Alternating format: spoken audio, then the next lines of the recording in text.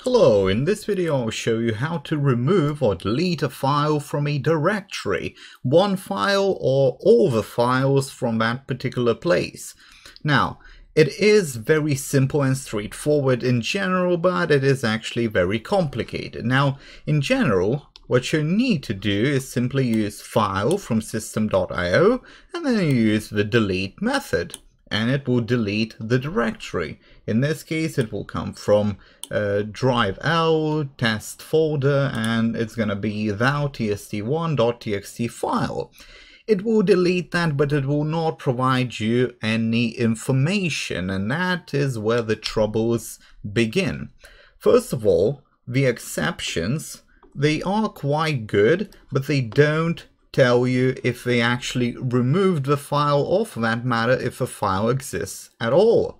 Therefore, before you do anything, you should probably verify that the file does indeed exist so that you can be somewhat sure that the file got deleted. If you want to be completely sure, you would use exist method after you delete it. Okay, so before you delete it, you want to make sure that the file does exist. Okay, so we have the if statement.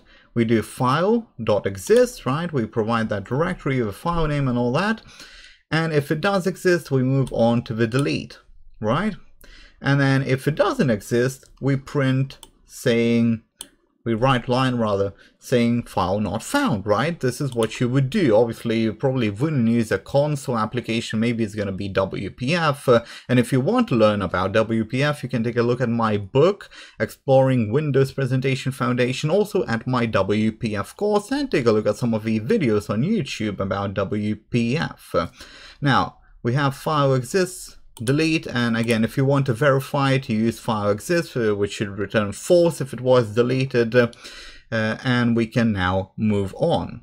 So moving on we need to use some exceptions to found some other things. The first one is the directory not found okay? So I'm actually going to run it now okay? Let's, let's do a, a bit of a, a run on the application like that okay and this particular says you do not have permissions to delete this file. So we jumped into, into this unauthorized access. I will cover that, but basically uh, if the directory not found, right, we can do it like this, okay? So this directory does not exist, and I'm gonna run it again, okay? And uh, you will see in this case, it says file not found because we still have that. But basically, if you uh, have a wrong directory, it will throw that exception.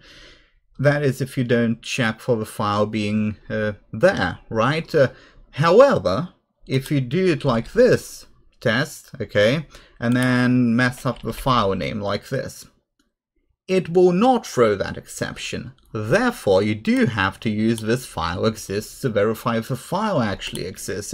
It's kind of messy and it could be probably made better by just returning something from the delete, uh, some kind of uh, verification that the file was deleted or not deleted or something like that. Uh, but in any case, we can move on to the other kind of a very important uh, exception, and that is unauthorized access exception. Now, I ran it previously and I saw it, uh, you saw it pop up. Basically, it happened because the file uh, has read-only permissions, okay? So I set it to read-only. And if we go to this folder just quickly, you can see right here, it's thou tst1, okay, properties, and right here it's read-only. I'm gonna uncheck it, I'm gonna apply it, okay and I'm gonna go back. And now if I run it see if I run it it will be deleted. You see I get no messages. That means it was indeed removed. You can see right here it does not exist anymore. So that's all good and great but now what if we want to delete everything in the folder let's comment that and let's take a look at the second part of this uh, whole arrangement. Kind of a simple thing here.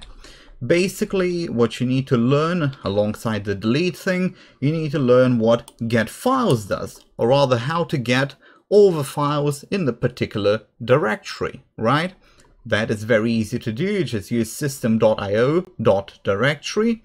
In there you'll find a method called getFiles, which will basically get the string array for all the file directories with file names included, right?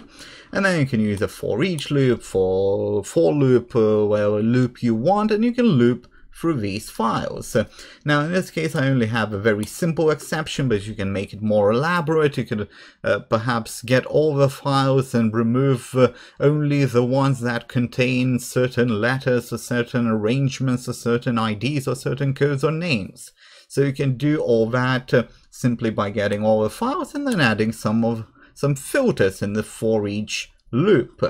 But as you can see, we just loop through files and we delete them all. That's all that there is to it. Now you can find this source code if you really need it on Patreon, as well as some other uh, source codes of mine, and you can take a look at my uh, series, you would call it actually a free course. It used to be a paid course, now it's a free course. Blazor Examples is called, it's free Blazor Examples on YouTube. You can find the source code on Patreon, and you can watch it for free on YouTube.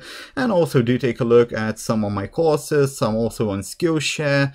Uh, you can find some pieces of my courses and some of my full courses on Skillshare as well. So do take a look at that. And with that, we will conclude this video.